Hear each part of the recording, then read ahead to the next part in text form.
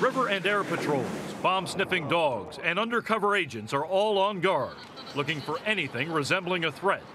A record crowd in the swearing in of America's first African American president present a double worry for the FBI. We're asking our agents and our partners to go back, recontact sources to ensure that we've scrubbed and rescrubbed every potential threat that we have. A three and a half square mile red zone from the White House to the National Mall to the Capitol is virtually locked down.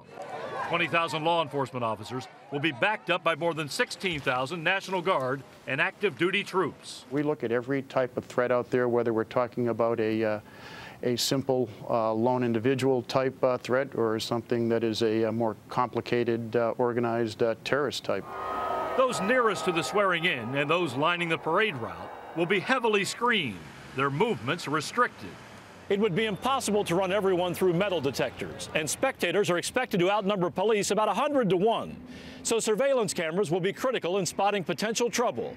Some 5,000 cameras spread all through the city will pipe real-time images into security command centers. So it's going to be constant information flow and constant on-the-ground eyes and ears. Officials say there is no known threat against President-elect Obama, but they recognize the inauguration is an attractive target.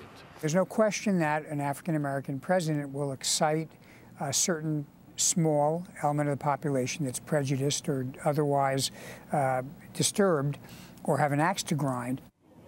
Critics say all of this security may be overkill. The Secret Service says it'll take that criticism, though, rather than risk having to explain why something important wasn't done.